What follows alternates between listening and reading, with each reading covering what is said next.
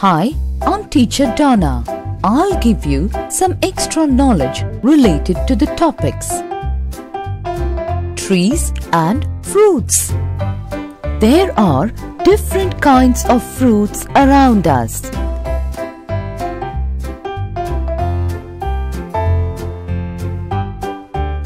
We get apples from an apple tree. Coconut grows in coconut tree. Bananas grow in banana plant.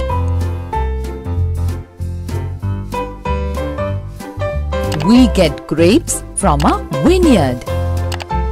Murli's mango tree. The story tells about Murli and a mango tree. Murli's mango tree. One day, Murli ate a mango. He threw the seed behind his house. Many months later, he saw a plant. He watered the plant every day. The plant grew into a big mango tree. Every summer, many mangoes grow on it. Now, Murli's children eat the mangoes. New words Seed The gardener is sowing a seed. Plant This is a rose plant.